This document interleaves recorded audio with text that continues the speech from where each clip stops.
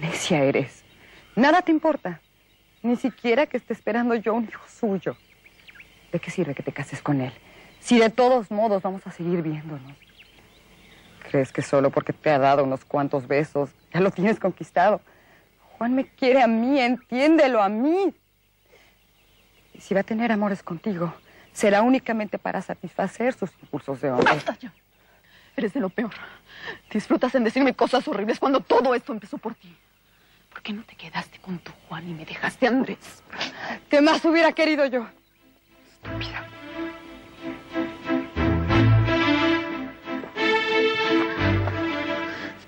Mónica. Mónica. ¿Qué tienes?